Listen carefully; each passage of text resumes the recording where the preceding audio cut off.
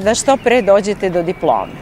Međutim, kada postavite cilj za ono što želite da studirate, veoma je važno da studiozno učite i date dobar deo sebe u tom obrazovanju da biste što pre sa puno znanja i puno iskustva došli do te diplome koju kasnije možete da dobro primenite i verovatno dobro unovčite.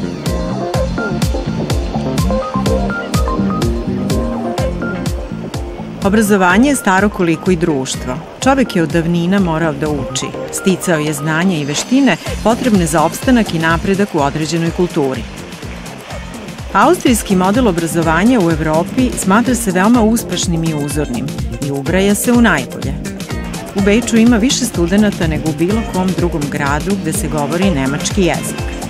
Pored istorijskog i kulturnog značaja, Austrija je interesantna zbog visokog kvaliteta obrazovanja, niskih školarina i mogućnosti da se nauči jedan od važnih svetskih jezika, nemački. Jedna od najstarijih metropola u srcu Evrope, mesto ukrštanja različitih kultura i uticaja, sa oko 2 miliona stanovnika. Beč, specifičan, neponovljiv, grad muzike, valcera, umetnosti, kulture, sa bogatom istorijom od davnina, grad tradicije i obrazovanja. Beč je evropski grad sa najvećim brojem srpskih iseljenika. Oko 200.000 Srba živi u Beču. Srbiju i Austriju vezuje duga istorija. Kao narod vrlo smo bliski i spaja nas duboko prijateljstvo. Sem toga, Austrija materijalno ulaže u Srbiju kao i u ostalom u čitav Balkan. Moram reći da su se Srbi koji borave u Beču i širom Austrije vrlo lepo integrisali u ovu sredinu i tako reći postali su pravi Austrijanci a to i jeste cilj integracije. Naravno, u poslednjih sto godina istorija je na ovim prostorima bila turbulentna, kao i cela evropska istorija. Međutim, mi gledamo u budućnost i upravo zato što imamo tako čvrstu prijateljsku vezu, siguran sam da je zajednička budućnost naša dva naroda svetla. bin ich zuversichtlich, dass die Zukunft zwischen den beiden Völkern sehr, sehr gut wird.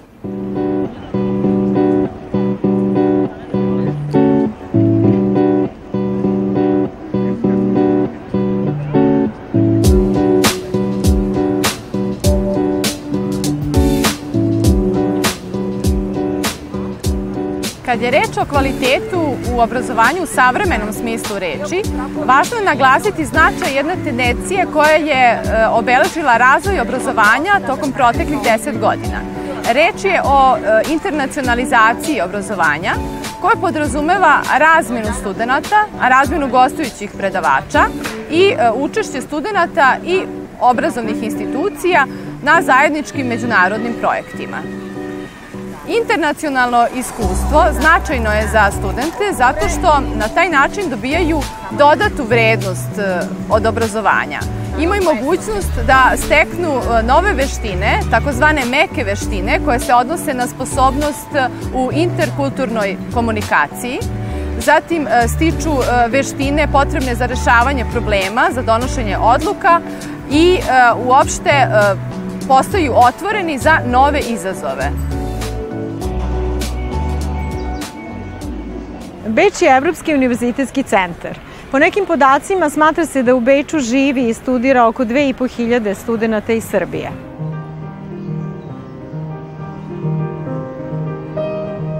U drugoj polovini 19. veka Beč je bio grad u kome su se školovali mladi ljudi iz Srbije, koji su kasnije to svoje austrijsko stečeno znanje i iskustvo preneli u srpske škole. U Beču su živeli i stvarali Vuk Stefanović Karadžić, Milutin Milanković, Miloš Crnjanski, Dositej Obradović, Jovan Jovanović Zmaj, Đura Jakšić, Uroš Predić, Josif Pančić, Jovan Cvić, Paja Jovanović i drugi poznati Srbi koji su ostavili trag svojim delima u kulturnoj i obrazovnoj baštini Srbije. Dobra saradnja Srbije i Austrije veoma je važna u kompletnoj podršci budućim studentima – Austrijska vlada otvorena je i naklonjena studentima iz Srbije. Zgrada parlamenta grada Beč. Kao i u svim parlamentima u svetu i tu se donose važne odluke. Naravno i odluke važne za obrazovanje. Ono što je interesantno za našu emisiju jeste da je sa nama i u našoj emisiji sagovornik Nemanja Damjanović, prvi srpski poslanik u parlamentu grada Beča. Rekao bih da sam svoju školu obrazovanje završio u staroj Jugoslaviji koja se tada pocepala, nažalost, i da smo tada u to vreme imali jedan sasvim dobar, maltene jedan perfektan a, sistem obrazovanja, odnosno školstva. Bio sam ponosan kada sam došao u Austriju, da sam mogao da se nosim, što se znanja tiče, sa drugim ljudima, da pričam o njihovim istorijama, o našoj istoriji i da kažem gde sam završio svoje obrazovanje, gde sam se školovao. Ono što mene jako raduje jeste da se sve te mlade pametne glave koje su dika i ponos za mene kao jednog Srbina u ovom Beču predstavljaju nešto čime se mi Srbi ponosimo. Grad Beč kao Beč je veoma popularna destinacija za studente e, samo zbog svoje veličine, zbog svoje atraktivnosti i zbog svog visokog rejtinga u svijetu visokog obrazovanja. Sam univerzitet Beča se nalazi na 184. mjestu univerziteta u svijetu. E, najveći je na, u njemačkom govornom području i osnovan je 12. marta 1365. Podatak jedan koji mogu da navedem je da je u proteklom semestru zimskom 2015. godine bilo 95.000 studenta na studijama u Beču. Između Republike Srbije i Republike Austrije trenutno na snazi protokol o saradnji u oblasti nauke, prosvete, obrazovanja i tehnike koji je obnovljen 2014. godine. Taj protokol, odnosno sporazum, se potpisuje na svakih 4 ili 5 godina i on reguliše opšte odredbe o saradnji između dve zemlje u pomenutim oblastima. Mi ga ponekad kolokvijalno nazivamo jednim divnim ramom za sliku, ali sadržaj onda ispisuje svaka zemlja, svaka institucija koja je obuhvaćena saradnjom, da li u pitanju biblioteka, fakultet, univerzitet, institut, naučno-istraživačka institucija ili nešto drugo. Za studiranje u Austriji e, najvažnije je da studenti znaju, odnosno da imaju na umu da ne postoji opšte studiranje u Austriji. To znači da svaki univerzitet ima svoju autonomiju i upravlja kako on želi. Tu imamo razna polja gde se to vidi kao na primjer što je školarina, e, sertifikat e, nemačkog jezika, gde svaki univerzitet može odrediti šta on želi i šta on očekuje od studenta. Za upis na univerzitetu je isto jako bitno, to je neki preduslov za sve studente, da imaju potvrdu studentskog mesta u Srbiji. To mora da bude, ako je za osnovne studije, osnovne studije u Srbiji, koje su identične tim studijama koje želi da upiše u Austriji. Ako je to za master studije, onda neki master smjer koji je isto identičan. Ako ne postoji identičan, onda mora biti sličan. Već 1979. godine postoji jedan sporazum između Austrije sa zemljama, e, znači sa Socialističke federativne republike Jugoslavije, da se znači, međusobno priznaju diplome, akademska zvanja. E, taj, taj sporazum prenesen je na e, sve bivše zemlje, znači zemlje bivše Jugoslavije, znači traje do danas. I postoji jedna lista akademskih zvanja koja je po jednom principu ekvivalentnosti podjednaka sa zvanjima u Austriji. U mom slučaju ja sam u Republici Srpskoj, znači prvi ciklus, stepen, znači studija četvorogodišnji koji je trajao, bachelor, ovdje prevela, nostrifikovala i potpuno mi je sve priznato. Nostrifikacija diplome zavisi od slučaja do slučaja na austrijskim fakultetima neke diplome se, da kažemo, relativno lako i brzo nostrifikuju, poput prirodno-matematičkog i elektrotehničkog fakulteta, dok za neke druge fakultete, pogotovo recimo društvene nauke ili pravni fakultet ili možda i delimično medicinski, nostrifikacija je prilično dugačka, trnovita, zahteva polaganje većeg broja ispita i tako dalje, tako da studenti najbolje pona osoba za svaki fakultet koji zanima moraju da provere šta je neophodno za nostrifikaciju diplome. Važno je za studente da znaju da su u Austriji pretežno, pogotovo na državnim univerzitetima, osnovne studije tri godine, a master studije dvije godine. Sad, studenti koji u Srbiji uh, su studirali ili završili osnovne studije koje su trajale četiri godine, ili u Srbiji pretežno četiri, ipak moraju u Austriji nastaviti master za dvije godine. Prvenstveno neophodno je da se stupi u kontakt znači, sa centralnom službom Ministarstva nauke, koja je znači, Erik Naik, koja se nalazi u Tenfalščase, ovaj, ovdje u prvom okrugu Bečkom. Ovaj, znači, nakon što se stupi u kontakt sa službom, kandidat ili kandidatkinja koja želi ili koji želi da nostrifikuje svoju diplomu, ovaj dobit će od stručnog osoblja zaposlenih instrukcije kako i šta dalje. Put mog mastera je bio jako težak. E, nakon završenih osnovnih studija u Srbiji sam došao do trenutka kada više nisam mogao da napredujem u oblasti u kojoj sam ja želeo da napredujem i našao sam univerzitet u Austriji koji može da mi ponudi to što je u mene u tom trenutku zanimalo. Kada sam došao u samu Austriju, susreo sam se sa gomilom papirologije koju nisam očekivao uopšte da će mi biti uh, neophodna, u smislu vađanja vize, prikupljanja određenih novčanih sredstava koje nisu bila mala, na računu da ja njima mogu da dokažem da ja imam novac da bi, da bi studirao ovde u Austriji, ali ovaj, naš narod je jako snalažljiv po tom pitanju, tako da ovaj, uz pomoć drugih studenta sam uspio da i uh, proguram ceo taj period. Može interesantno i uh, sertifikat nemačkog jezika i tu su specifičnosti. Samo da navedem, na primer, Beč i Grac, pošto su ta najpopularnija univerziteta. U Beču imate univerziteti koji tražu, traže isključivo B2, neki C1. U Gracu je pretežno C1, a te, tehnički B2. Tako da bi i tu zamolila studente obavezne da se dobro raspitaju koji sertifikat trebaju Odnosno, ako nemaju mogućnost da uče njemački jezik u Srbiji, imaju pravo u Austriji da uče njemački jezik na univerzitetima. To je neka takozvana nulta godina ili godina za pripremu gde isključivo uče njemački jezik. Kursevi na Austrijskom institutu se u potpunosti orijentišu prema zajedničkom evropskom referentnom okviru za jezike, što znači da je znanje nemačkog jezika podeljeno na šest nivoa. To su bazični nivoji A1 i A2, srednji nivoji B1 i B2 i viši nivoji C1 i C2. I na Austrijskom institutu, pored mogućnosti da pohađate kurseve nemačkog jezika, imate mogućnost da polažete za međunarodno priznatu zvaničnu austrijsku jezičku diplomu. Mi smo baš u poslednje dve godine imali dosta đaka koji su dolazili kod nas bez predznanja i koji su uspevali da u roku od nekih 8-9 meseci dosignu nivo B2, koji je preduslov za upisivanje na mnoge fakultete u Austriji, što po mom mišljenju spada u domen izuzetnih postignuća. U Beč sam došla sa 17 i po godina bez poznavanja nemačkog jezika, tako da sam kompletnu prvu godinu provela samo učeći jezik, tada nisam smela niti mogla raditi zbog nepoznavanja i nemačkog jezika. Nakon te prve godine sam počela sa fakultetom, tada na ekonomiji. Moje prve dva fakulteta sam završila na ekonomskom državnom fakultetu, a potom master na diplomatiji. Prvih nekoliko ispita sam položila uz pomoć rečnika, što nije bilo ni malo lako, ali posle nekog vremena sam se navikla. Nakon godinu dana takvog studiranja sam bila u stanju da govorim savršeno nemački, tako da mi rečnik više nije trebao. Prije otprilike godinu dana došla sam ovdje sa željom da nastavim doktorske studije na, na oceku naravno za anglistiku, za jezik engleski i književnost.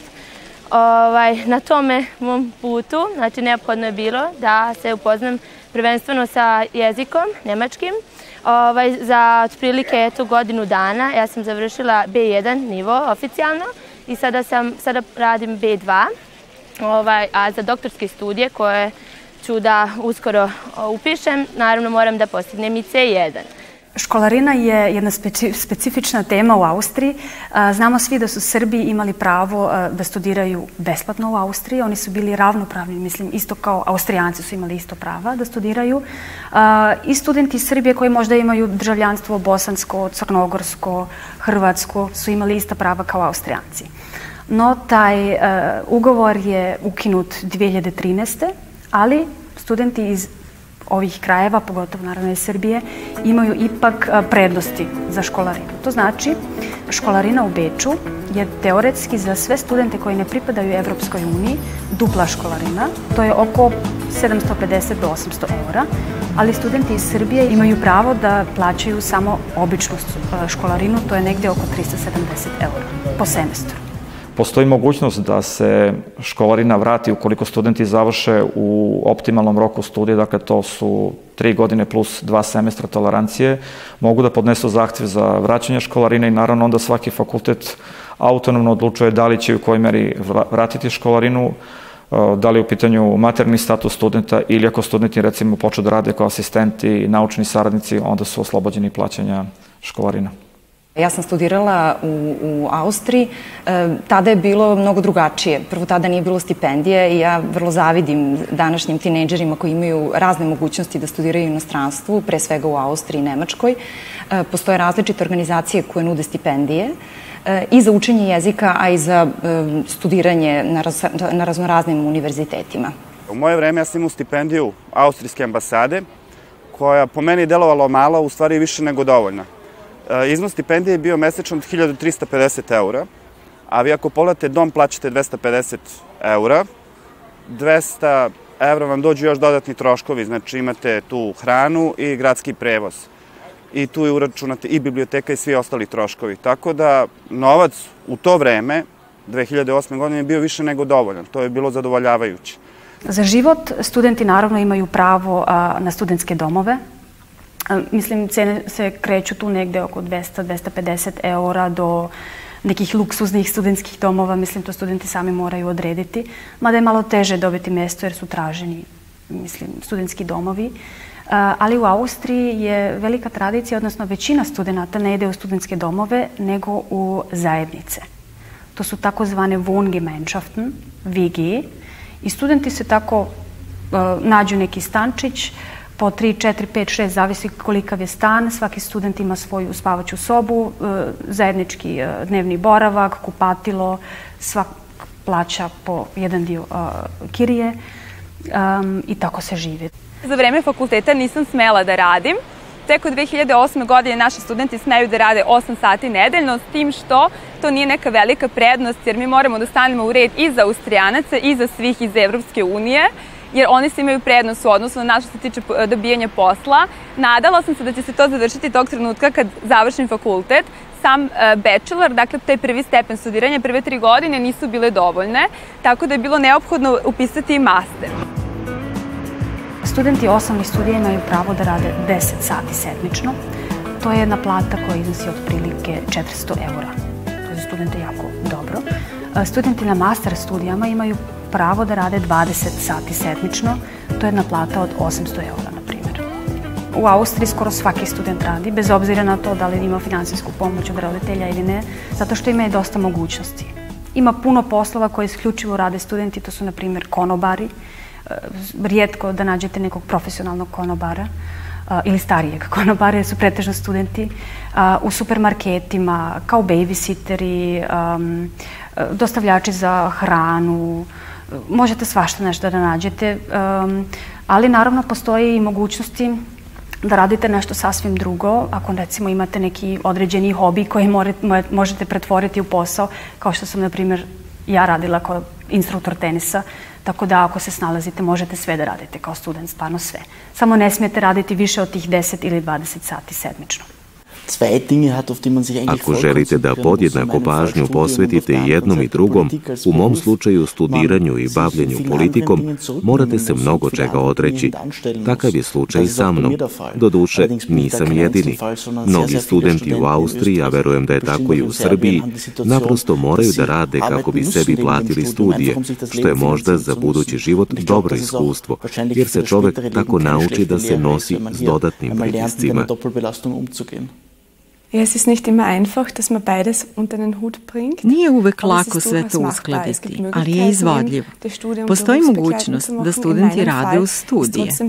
Ja studiram prava i bez obzira na brojne obaveze na fakultetu, uz dobru organizaciju, možete isplanirati kada ćete i koja predavanja pohađati. Takav vid studiranja mi je omogućio da ja mogu da, da probam da radim i da nađem posao sa, ovaj, da mogu sam sebe da izdržavam a austrijska vlada sa studentskom vizom na master studijama dozvoljava da se radi 20 sati nedeljno a na osnovnim studijama dozvoljava samo 10 sati nedeljno, jer su osnovne studije, predavanja su obavezna, pa studenti moraju da većinu svog vremena da provode na fakultetu. Sigurno da tih 800 eura može da mu, da mu obezbede stan, finansiranje semestra, plaćanje školarine, e, metro i osiguranje i normalno neke osnovne troškove kao što, smo, kao što su recimo hrana i neke osnovne potrebištine. Međutim, ako student radi u slučaju 10 sati na osnovnim studijama, veoma, veoma teško a, može da opstane s tim novcem jer je prosječni dom studentski u Beču oko 300 eura.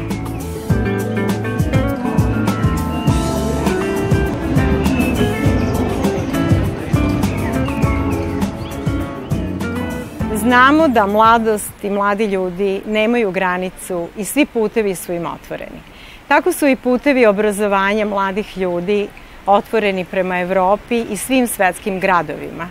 Sve ono što su naučili mogu primeniti u, u privredi, ekonomiji i uopšte u svim zemljama gde je znanje konkurentna privredna grana. Tada je bilo pitanje šta da studiram. Ko da mi nešto pokaže, veliki je izbor, međutim odlučila sam se tada za ekonomski fakultet u Beču, zove se Virčas Univerzitet Wien i mogu vam reći da je to sigurno bila prava odluka, ali na početku isto mukotrpna, zato što taj fakultet je takav da, tvoj, da sam moraš da organizuješ sve. Svoje učenje, svoje kurseve, um, i na početku je bilo veoma interesantno da se tamo snađem. Međutim, imala sam sreću da sam možda posle dve godine uspela da završim većinu ispita u prvom delu fakulteta i onda je došao taj drugi deo fakulteta gde sam se osjećala kao kod kuće zato što je bilo mnogo manje. Na početku je bilo mnogo teško da nađem mesto na tom fakultetu. E, tamo studiraju 20 do 30 hiljada studenta iz celog sveta. Predavanja su jako zanimljiva, u smislu mnogo bolje su određene nego kod nas, zato što se tu svodi automatski na praksu. Primer dajem, jako je bilo zanimljivo predavanje istoričara umetnosti, gde je čovek e, dolazio sa slikama i primerima i razgovarao konkretno o nama i posle toga je tražio seminarski rad da svako vidi kako vidi tu svoju sliku. Konkretno vezano za film, e, vezano za mog profesora koji je inače po profesiji jedini vampirolog u svetu, nas osam je bilo kod njega na specializaciji, mi smo svaki dan s njim gledali filmove vezano kroz taj segment, i razgovarali posle predavanja i na osnovu toga smo ponovo imali još jedan seminarski rad. Dakle, predavanja se svode na praksu i na izvorni deo materijala da vam sam profesor objašnjava šta se sve dešava. Suviše su prisni i lični, što kod nas još to ne postoji i suviše pokušavaju da posveti svakom studentu pažnju. Moram da priznam da mi je bio jako veliki šok način na koji se a, Austrijanci, to jest profesori, odnose prema studentima. Dešavalo nam se da, da profesor u roku od 15 minuta odgovori na e-mail sa pitanjem koje sam mu poslao. Moje studije su bile malo specifične, čak i za austrijske uslove, jer su moje studije bile kompletne na engleskom jeziku. Pitanju je master program koji se sastoji iz part-time distance learninga. Šta to znači? To znači da sam ja svako veče između 6 i 10 uh, imao predavanja koje sam slušao putem interneta. Znači, faktički profesor sam vidio samo jedan put na početku semestra, na sastanku ko, i na polaganju ispita koje sam imao na, na fakultetu da je bilo obavezan pristup. Vi dakle ustaju od 8 ujutru, od 9 imate predavanje do 1, od 1 do 3 imate pauzu, već od 4 morate da idete na praksu. Konkretno ja sam imao praksu u muzeju Albertina gde sam morao da radim oko filmova, da čislujem filmove, da se bavim avangardnim filmom sam bio stranac, bilo je obavezno e, večernje obrazovanje. Dakle, svake srede i petka sam išao redovno u školu jezika od 9 na večer. Tako da su oni mnogo tu pritegli studente, da vi vikend kad vam dođe nemate slobodnog vremena, zato što mnogo ima seminarskih radova. Naja, besonders gut. Also ich glaube, dass es sicherlich uh, Ovde je dobro to što postoje dugoročni programi za unapređivanje sistema obrazovanja. Međutim, kada reč o obrazovnom sistemu same države, tu ponešto i ne funkcioniše kako treba. Tu pre svega mislim na prevelika odeljenja i na nedovoljan broj nastavnog kadra. Situacija je takva da škole i fakulteti nemaju dovoljno kapaciteta, pa ni financijskih sredstava za kvalitetnu nastavu.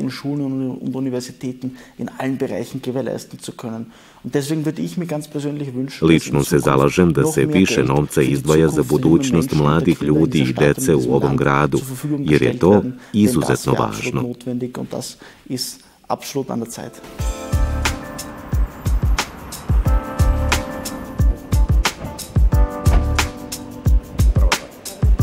Kad sam ja trebao da biram moju master tezu, izabrao sam uh, profesora koji je zaposlen na, na medicinskom fakultetu u Beču i zbog samog specifičnosti moje master teze, ja sam morao da odradim eks, određeni deo eksperimenata u laboratorijama medicinskog fakulteta u opštoj bolnici u Beču. Nakon završene moje master teze, pitali su me da ostanem da radim za, za medicinski fakultet kao istraživač i trenutno sam zaposlen na medicinskom fakultetu u Beču kao junior istraživač. Trenutno imamo fokus na tome da, da omogućimo našim studentima iz Srbije pristup najmodernijoj opremi koju mi ovde posjedujemo i da probamo da napravimo neku insti, međuinstitu, i međuinstitucionalnu saradnju između univerziteta u Srbiji i univerziteta u Austriji. Neko ko ne želi da završi cele studije u Austriji, ja bih preporučila da ide na razmenu preko Erasmus Plus ili Tempus, raznih projekata koji su Austrija i Srbija potpisale kao bilateralni ugovori koji imaju Austrija i Srbija. To su razmene na semestar ili na godinu dana gde studenti dobijaju jako dobre, većinom jako dobre stipendije i gde mogu polagati nekoliko ispita u Austriji. To znači oni su upisani studiji, studiraju glavne studije u Srbiji, ali nekoliko ispita mogu polagati u Austriji u okviru te razmene. Rok za odgovor na aplikaciju iznosi između 8 i 12 nedelja, što znači da studenti moraju da računaju na taj rok najmanje 8, a češće to ovaj drugi više, znači do 11-12 nedelja će dobiti odgovor da li su primljeni ili ne na studije. Za upis još jedna bitna stvar, studenti mogu aplicirati, odnosno mogu se upisati i za ljetni, odnosno i za zimski i za ljetni semestar. Znači, ako neko zakasni, ukoliko je diplomirao tek negde u julu, avgustu i nije stigao da se upiše u Austriji za zimski semestar, a, ima pravo da se upiše za ljetni, a ljetni počinje 1. marta. Tako da ne gubi cijelu godinu, nego samo par meseci koji su možda čak i dobre da se snađe u Austriji, da nauči još njemački jezik i tako dalje. Da to može čak i mala prednost. Mlad čovek da bi otišao da studira, najbolje da se informiše preko direktno njihovog sajta, Pri tom ima jako dobra organizacija ovde kod nas u Beoradu koja se nalazi pri Austrijskoj ambasadi, u stvari to je Austrijski institut, koji se zaista bavi mladim ljudima i oni su jako vredni, uspešni i žele izaći u susret. Kada prikupite univerzitetska dokumenta, potrebna za studije, čeka vas dobijanje studentske vize, a nju ćete dobiti u Austrijskoj ambasadi u Beogradu.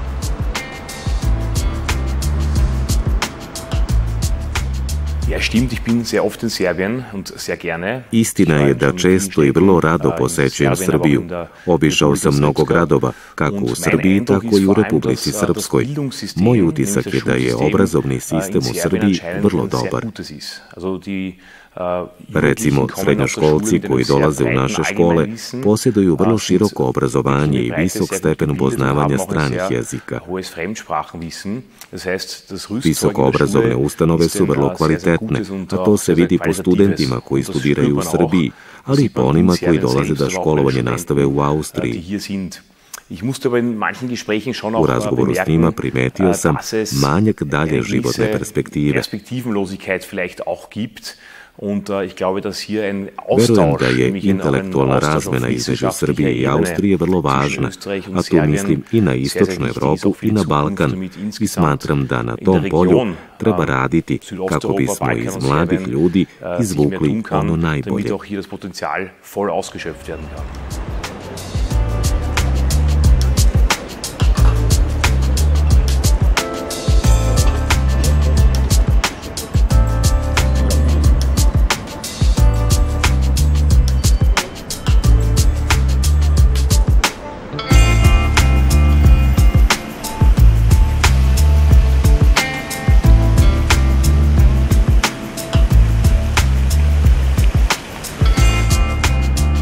Za mladu osobu najvažnije je da bude svesna brzih promena u društvu, poslovnom okruženju i u obrazovanju i da se kroz neprekidno učenje i usavršavanje i sama menja, nauči da razmišlja i donosi sobstvene odluke. Ostaje dilema studirati u svojoj zemlji ili u inostranstvu. Odvojenost od kuće, porodice, prijatelja, nova kultura, jezik kao prepreka, puno učenja, mnogo neočekivanih iznenađenja. Svi studenti koji dođu ovde imaju niz prepreka koje moraju da savladaju i naprosto životni, životni stil i životna kultura, sam, samim tim i mentalitet ljudi ovde je potpuno drugačiji. Što se tiče izlazaka studenta u Beču, a, mogu slobodno da kažem da to ne izgleda onako kao, kao što mnogi misle i da su studenti ovde sa, sa svoje, svoje vrijeme potpuno, potpuno posvijetili poslu i studijama. Moja preporuka student kada želi da krene negde u inostranstvo, da radi specializaciju, da studira ili bilo šta, da se dobro informiše da li je dozvoljeno na engleskom jeziku, da li je dozvoljeno na nemačkom jeziku, ali bih želeo reći da pre toga, s obzirom da je Beč jako blizu, za jako malo novca mogu da odu lično i da lepo od 10 do 12 na njihovom univerzitetu pogledaju kakvi su njihovi uslovi. Naravno, treba da obrate pažnju da imamo i stipendiju i da vide da li ta stipendija se uklapa u njihov trošak, da li mogu deca da prežive.